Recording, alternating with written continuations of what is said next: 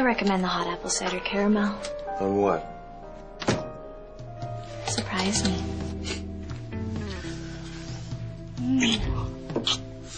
You are amazing.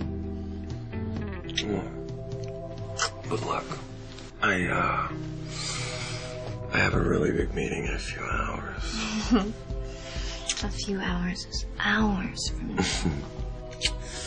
Seriously. It's important. I have to keep my focus. It's with Sean McPherson. I'm only gonna get one shot with him. As opposed to me, who's just some endless font of do-overs. Look, I'll make it up to you. Where are you going? No idea.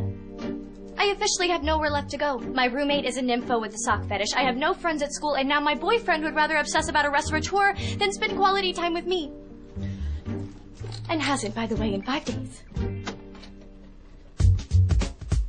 Gossip Girl. All new this Monday at 9, 8 central on the CW.